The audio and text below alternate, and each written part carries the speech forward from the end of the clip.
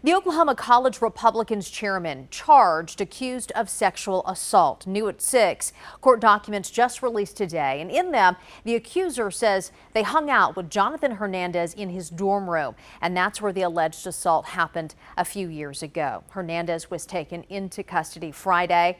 The College National Republicans releasing a statement today saying in part many institutions have protected this non-consensual behavior for years to save their reputation, but that they won't contribute to that. KOCO, of course, will continue to follow this story as it develops.